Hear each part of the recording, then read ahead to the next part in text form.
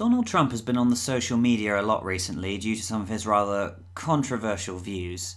Now, I'm not a politician. This isn't a political channel, it's a gaming channel where we talk about video games.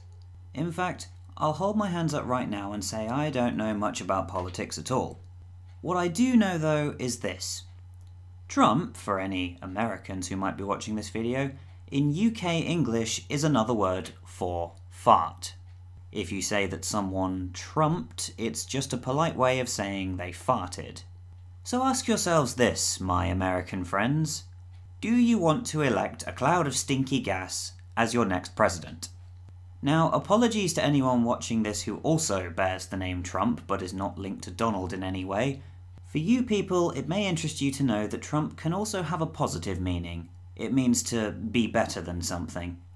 That definition doesn't apply to Donald, though. He only thinks he's better than everyone. Saying that, I could not help but feel sorry for his first wife, Ivana Trump. Google it.